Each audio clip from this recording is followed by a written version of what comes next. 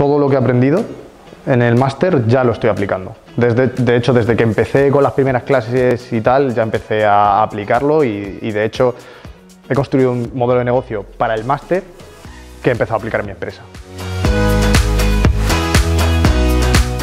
Mis estudios base eh, están dedicados al ámbito de empresa, ciencias empresariales. Empecé, tengo un par de másters que me complementaron eh, mi educación y al final todo fue para virar a la industria del videojuego, en la cual pues dirijo una de las empresas más importantes de España.